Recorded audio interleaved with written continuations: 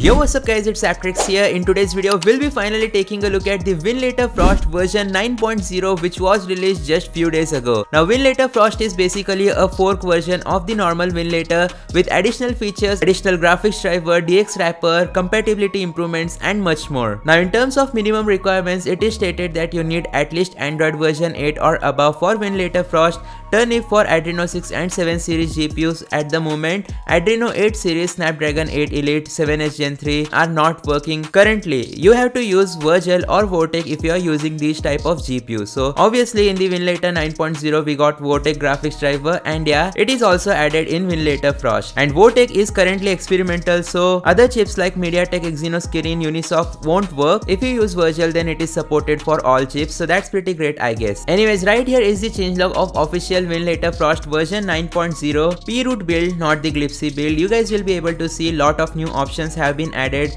and reconfigurations updated VKD3D to 2.14.1 so this is the latest brand new version of VKD3D that isn't present in any version of Winlator Android. Added some missing fonts some improvements and bug fixes have been made. Also text issues in some games may be fixed. New box 64 versions have been added. And we have some additional notes that if we are using Vortek graphics driver do not use DXVK 2.4.1 or 2.5.3. Now after the 9.0 update we got 9.0 version 1.2 about 3 days ago and this contained few fixes for the version 9.0. For example updated the latest turnip driver, fixed Wine D3D missing and small fixes. I have already added the Winlator Frost 9.0 latest benchmark version on my Android device and if you want to see a gameplay test comparison between GameHub and Winlator Frost then let's hit 200 likes on today's video and let me know in the comment section down below. Anyways let's launch Winlator Frost and make sure to use the benchmark build of Winlator Frost for better performance. And by the way GameHub emulator Mali GPU support is also present now. So Mali GPU gameplay test video for that is also coming pretty soon.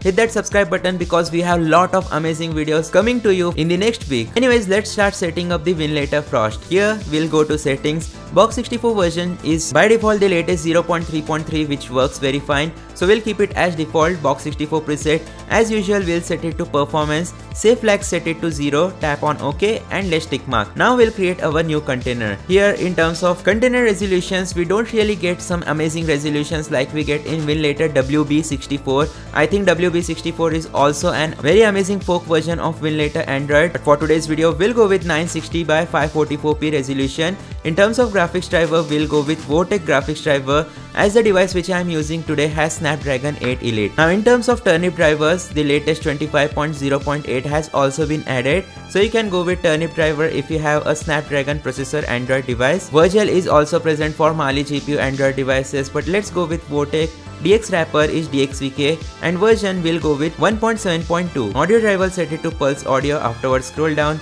Video memory size set it to 4GB as usual and in terms of advanced settings box 64 preset make sure to choose the performance preset which we just created. Once that has been done, that's about it in terms of best settings. I'll just go ahead and add a separate drive for my games. And yeah, that's about it. Let's create our brand new container and run it on our Android device. Now I'm very interested to see how well does this emulator perform on my Android device. Snapdragon 8 Elite obviously in GameHub I get 60 plus FPS while emulating GTA 5, that too pretty stable, no stuttering issues compared to the official Winlator Android 9.0 update which to be honest has some performance issues. I'm not even going to lie, Winlator 8.0 had way better performance than 9.0. Nonetheless, in Winlator Frost you get additional settings such as being able to choose the renderer, common fixes for games like Unity games etc and even D3D test. Let's just go ahead and test Direct 3D to see how much FPS do we get. In the official Winlator Android 9.0 I was getting anywhere from 2400 to 2500 FPS but here you guys will be able to see I am getting from 2500 to 3000 FPS in this direct 3D test. So I think the performance might be a bit better in Winlator Frost We'll need to find that out. So anyways, let's just go ahead and test out our game for today's video which is going to be Dragon Ball Sparking Zero. I have created a shortcut for it as you will be able to see. Let's go to settings and make sure to enable force full screen in advanced settings. Afterwards tap on OK. And then let's run our game. Input profile by the developer of Winlator Frost are also present here. We'll go with the general input profile but unfortunately for some reason it seems that the game is not starting as you'll be able to see the RAM usage is not accurate.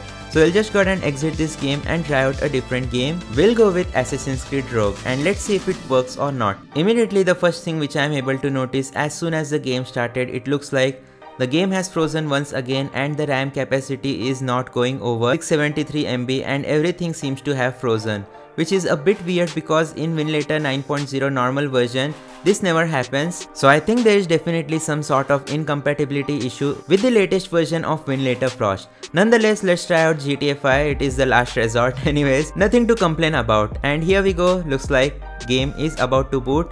There we go GTA 5 has actually booted and let's see the RAM usage because both of the other games were getting stuck at 670 MB of RAM usage but well GTA 5 is working properly so let's find out how well does it actually work with the Vortek graphics driver. And here we go. Well well well surprisingly GTA 5 is the only game. It froze for a second so I thought it's a gone case but nope. The game actually booted and you will be able to see how unstable this game actually is on a Snapdragon 8 Elite processor Android device inside the Winlator Android. I am barely getting 30 FPS and lot of stuttering issues are present here and there whereas in GameHub emulator I was getting 60 to 90 FPS while emulating this AAA title on my Android device. And you will also be able to see the on-screen touch controls are very sensitive in Winlator Android. So even little movements like this will take you off the screen so I think using controller is the best option. Aside from the Snapdragon 8 Elite performance on all other devices, Winlator Android 9.0 is not that worth it. You can go with Winlator Glibc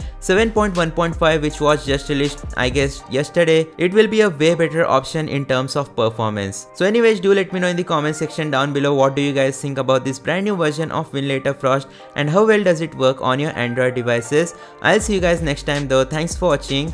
Goodbye.